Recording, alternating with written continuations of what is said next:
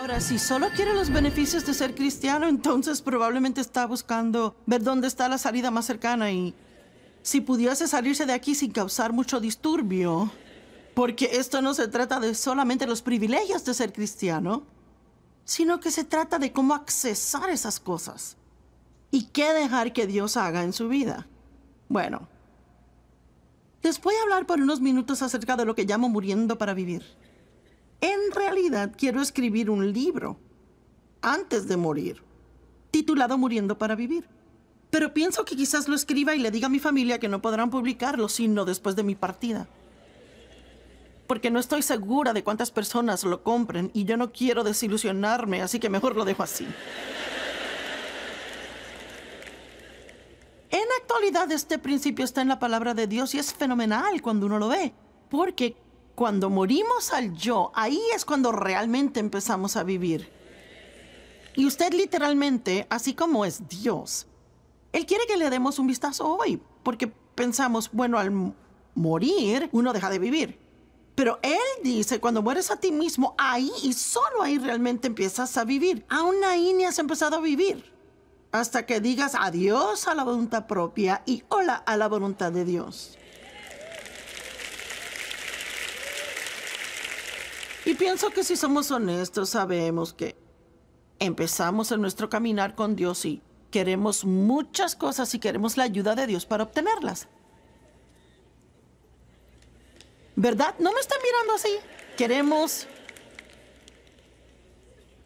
Queremos esto y queremos lo otro y queremos algo más y... ¿Verdad? Dios, dame esto, dame lo otro. Y la verdad es que quizás termine con mucho de ello, pero Dios no se lo va a dar hasta que esté listo. Y usted no está listo hasta que esté dispuesto a entregarlos y Dios dice, entrégalo. Es asombroso cuántas veces Dios nos hará pasar una rutina de hacernos sentir que nunca tendremos algo que queremos y llegamos al punto en que no nos importa y nos lo da. Amén. Porque no puede significar tanto para uno. Marcos 8, 34 al 36. Y Jesús llamó así la multitud de sus discípulos y les dijo a ellos, si alguno intenta venir en pos de mí, que se niegue a sí mismo, olvide, ignore, repudie y piérdase de vista a sí mismo y sus intereses. Pues sí. ¿Habrá alguien emocionado? No se oyó ni un amén cuando leí eso. Y que tome su cruz y me siga. Pues el que quiera salvar su más alta vida espiritual, tendrá que perder la más baja y natural vida temporal que es vivida solo en la tierra. Y quien renuncia a su vida, la cual es vivida en la tierra por mi causa y el Evangelio, la salvará su más alta vida espiritual en el eterno reino. ¿Cómo es que aprovecha a un hombre si gana todo el mundo y abandona su vida real? ¿Y qué está realmente diciendo? Él dice, si usted rinde la vida más baja, usted podrá tener la vida más alta. Si se aferra a la vida más baja, entonces nunca tendrá la vida más alta. En otras palabras, si usted entrega su vida, cualquier cosa que Dios toque en su vida, el dejar la ira, el dejar todo resentimiento, el soltar la amargura, el renunciar a un trabajo que haga que se comprometa con el mundo, el romper con alguien con quien ha estado saliendo porque usted sabe que le van a arrastrar hasta el abismo con ellos, cualquiera sea el caso. Y no le estoy diciendo que si está casado con alguien ahora Usted puede salirse del matrimonio, qué pena. Usted tiene un compromiso ahí. Va a tener que orar hasta atravesarlo todo y que funcione, pero lo que digo es, si aún no ha puesto su firma en la raya, oiga, mejor salga corriendo lo más rápido que pueda.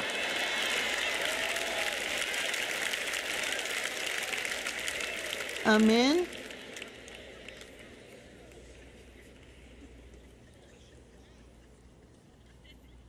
Pero Satanás ha distorsionado toda la idea de a lo que pensamos que los cristianos deben renunciar. Y él se ha convertido en algo que él no es, como con el hombre joven con quien hablé hoy que mencioné. En un lugar, un negocio, él sabía lo que hago y después de preguntarme, ¿verdad? ¿Cómo yo entré en esto? Yo medio dije, pues realmente yo no estoy tratando de figurarlo, pero no traté de explicárselo a él.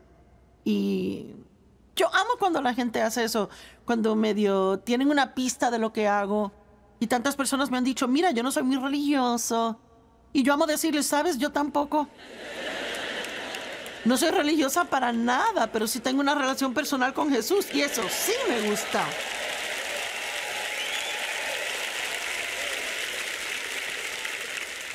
Y esto fue lo que dijo y es indicativo de lo que trato de hablar. Él dijo, bueno, yo no soy muy religioso, dijo, mi papá era muy religioso y yo recuerdo que nunca podíamos ir a las películas y él dijo, él nos dijo que si íbamos a las películas y Jesús venía, que no íbamos a ir al cielo.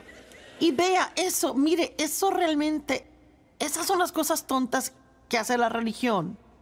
Y les estoy hablando hoy acerca de entregar cosas, pero yo no me refiero acerca de no poder divertirse, ir a una fiesta, no poder ir a las películas, no puede festejar, ni ponerse colores, ni usar maquillaje. De eso no estoy hablando. Por favor, si necesita maquillaje, póngaselo.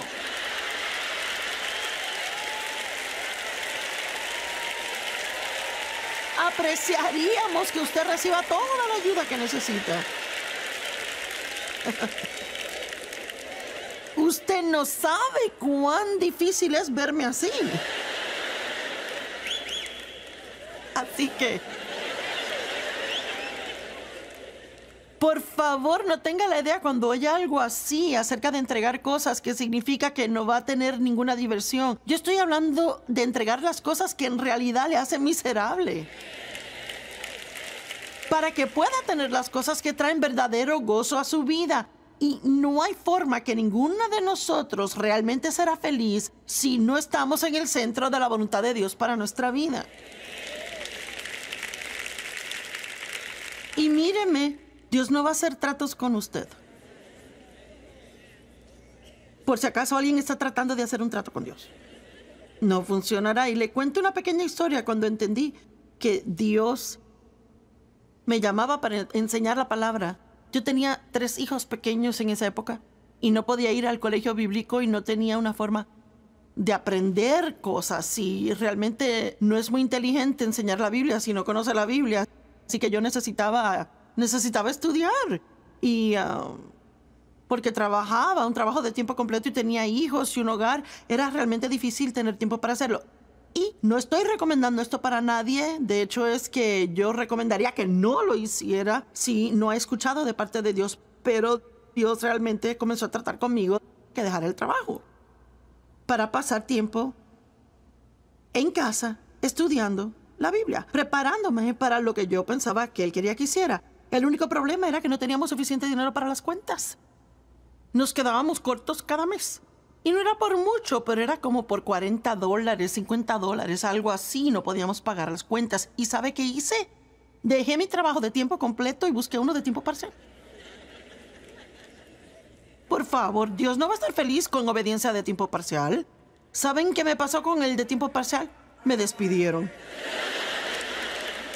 Dios me dejó saber lo que quiso decir. Yo no era el tipo de persona a quien despedirían de un trabajo. Yo era muy, muy, muy buena trabajadora. Y amo contar esa historia porque es exactamente lo que hacía. Yo estaba tratando de darle a Dios un sacrificio, no obediencia.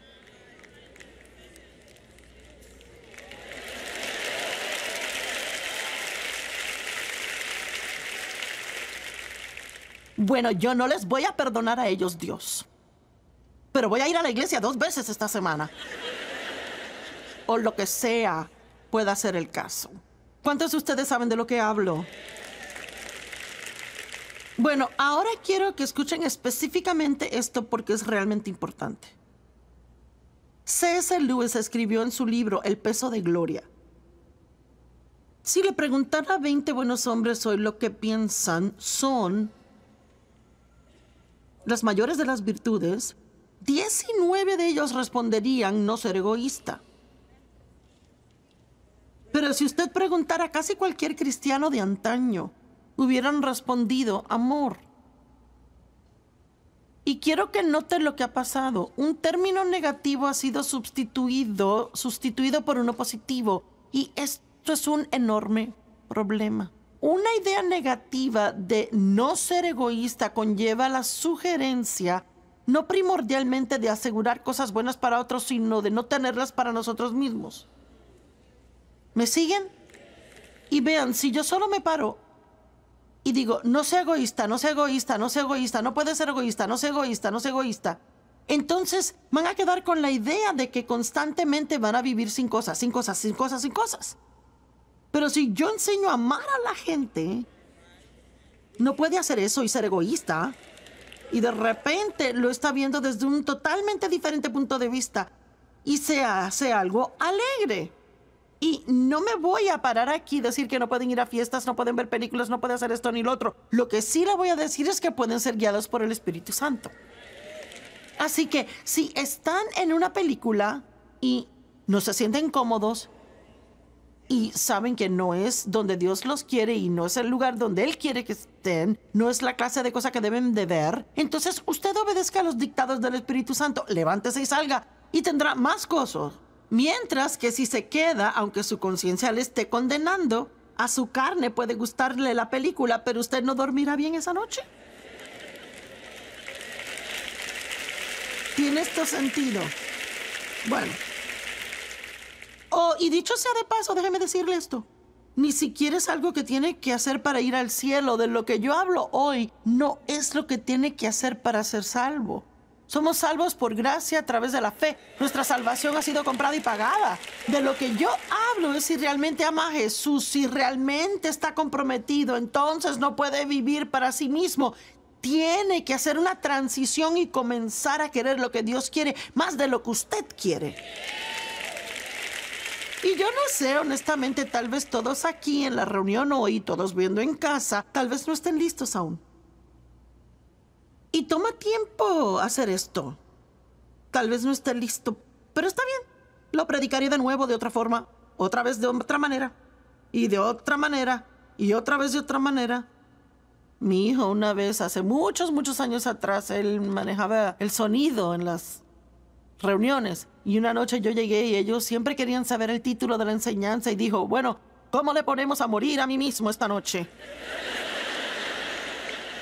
Porque él dijo, no importa qué título le ponga, siempre termina siendo la misma cosa. Pero es un mensaje que necesitamos. Si nos enfocamos en lo que perdemos al obedecer a Jesús, es muy probable que nunca tengamos el valor para obedecerle. Les voy a repetir eso. Si nos enfocamos solamente en lo que pensamos que vamos a perder al obedecer a Jesús, es muy probable que nunca tengamos el valor para obedecerle. No se enfoquen, ay no, tendré que dejar mi trabajo y gano mucho dinero ahí. No, no se enfoquen en eso. Enfóquese en el gozo que tendrá al estar en la voluntad de Dios y enfóquese en el galardón que Dios traerá a su vida y que tendrá un mejor trabajo porque obedeció. Amén.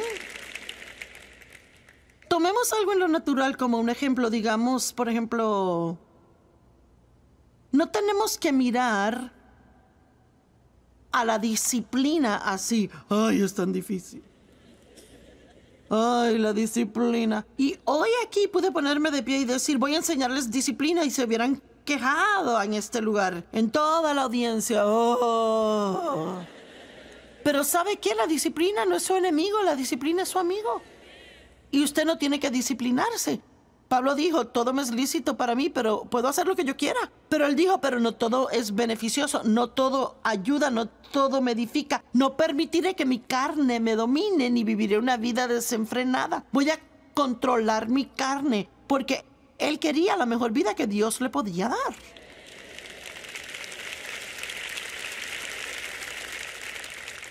Muchas personas temen el ejercicio y ¿saben por qué? Porque la percepción es algo negativo, solo piensan cómo les va a doler.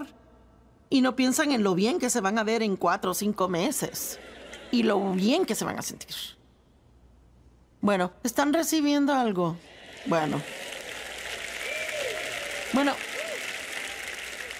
La buena noticia es que Pablo dijo en Gálatas 2.20, con Cristo estoy juntamente crucificado. Con Él yo comparto su crucifixión y ya no vivo yo, sino Cristo el Mesías que vive en mí. Y la vida que ahora vivo, la vivo por fe. Bueno, es que eso es algo muy serio. He sido crucificado con Cristo. Ya no soy yo el que vivo, sino Cristo ahora vive en mí.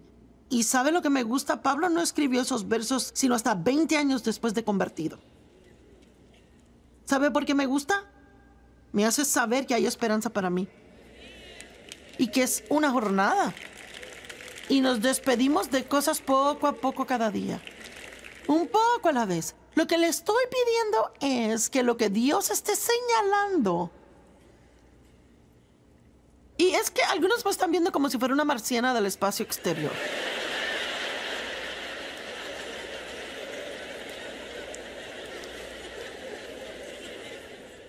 ¿Y saben por qué se callan cuando predico así? Porque están pensando, oh, oh.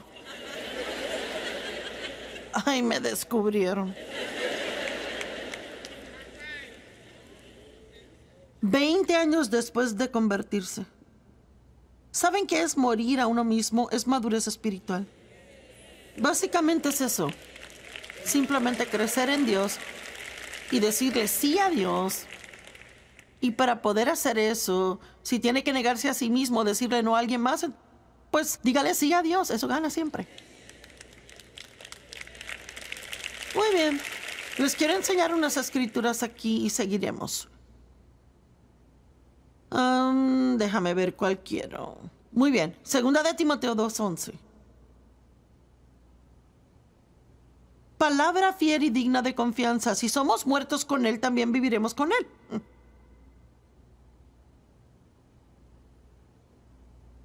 Segunda de Corintios 4, 8 al 12. Estamos rodeados, presionados por todos lados, angustiados y oprimidos en todo, mas no apiñados ni triturados, sufrimos vergüenzas y quedamos perplejos y sin saber cuál es la salida, pero no estamos desesperados. Buscados, perseguidos e impulsados, pero no desertados, abandonados, derribados al piso, pero nunca ponchados ni destruidos.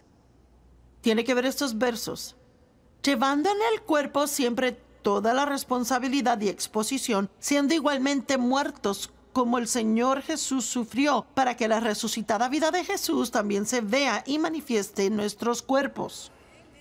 Les puedo enseñar escritura tras escritura tras escritura donde él dice, si usted si se dispone a morir a la forma carnal de vivir, y, les digo en un minuto cómo se muere y lo que significa, básicamente quiere decir que, que ya no voy a seguir viviendo así. Yo no seguiré alimentando mi carne. ¿Les puedo decir algo? Su trabajo no es agradar su carne. ¿Y sabe por qué? Porque es muy tonta. Le dice que coma cosas que no son saludables. Que se quede despierto toda la noche y que no duerma.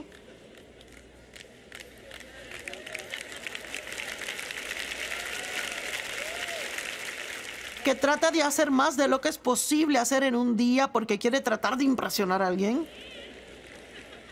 o que esté con gente que ni siquiera le cae bien por estar en el grupo popular. Vamos, yo ya conozco estas cosas. Que se ponga ropa y zapatos que le quedan apretados. ¿Cuántos años? ¿Por cuántos años me puse zapatos que me estaban matando los pies cuando predicaba? ¿Por qué? Porque eran lindos. ¿Y saben lo que esos zapatos lindos me dieron? Callos y juanetes.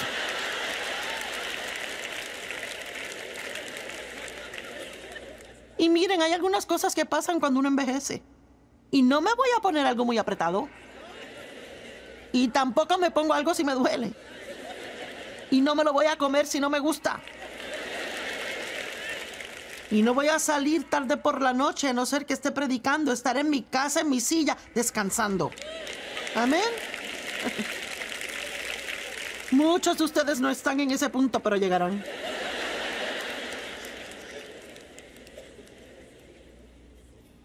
Verso 11, porque nosotros quienes constantemente somos entregados a muerte por causa de Jesús, nosotros quienes constantemente experimentamos muerte por causa de Jesucristo para que la resurrección, la vida de Jesús sea evidente en y por nosotros. Viven para morir, mueren a sí mismos y viven. Ahora, Colosenses 3 dice algo que es un poco difícil de entender y se los voy a explicar. Dice, maten los deseos malos latentes en sus miembros.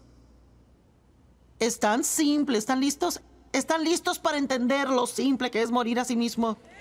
¿Quieren que les diga cómo matar la carne? No la alimente. Y no estoy hablando de su cena, no estamos hablando de eso aquí. Dice, Ay, me perdí ahí. Que no la alimente. Si no la alimenta lo suficiente, perderá la fuerza y energía sobre usted. Puede matar cualquier cosa al no alimentarla. Bueno, así es que la alimenta. La esposa está enojada con el marido. Ella es cristiana. El Espíritu Santo le recuerda. Y él lo hace también. Le recuerda Efesios 4, 26 al 27, donde dice que no se ponga el sol sobre vuestro enojo. No le dé al diablo una posición firme en su vida, mijita. Y ahora tiene que decidir algo. ¿Qué va a hacer? Queda media hora antes de dormir y no me debo ir enojada a dormir. Dios dice, arregla las cosas, haz la paz, pide perdón. No fue mi culpa. Yo pedí perdón la última vez. Bueno, y esta es la cosa. Su carne quiere que siga enojado. Su carne no quiere que tenga paz. Su carne está cooperando con el diablo. Ábreme una puerta. Ábreme una puerta, el diablo dice. Pero el Espíritu Santo está en usted. Y usted fue a la conferencia de Joyce Meyer. Y escuchó todas las escrituras que ama citar. Y ahora el Espíritu Santo se las está recordando. Y el Espíritu Santo está diciendo, déjalo, arréglalo. No importa quién tenga la razón. Obedece a Dios. Ahora, usted puede hacer lo que quiere y alimentar su carne una vez más. Vea, este es el punto. Cada vez que la alimenta, le da más fuerza. Cuando usted la alimenta, la mantiene viva. Pero cada vez que no la alimenta, se debilita un poco más y un poquito más y un poquito más. ¿Y sabe qué? Yo recuerdo cuando antes me enojaba con Dave y no hablaba con ese hombre por tres semanas. Y eso fue en el pasado, en el año primero, ¿verdad? Y, um, Dios mío, yo no sé cuántas noches me dormí enojada. Y esta es la parte más tonta. Me dormí en la orilla del colchón porque yo no iba a tocarlo. No te voy a tocar. Y él tenía todas las sábanas. Y yo no le quería pedir ninguna cosa. Así que no le quería pedir sábanas, así que me acostaba en la orilla del colchón y me congelaba toda la noche. Y estaba enojada. Y él estaba allá.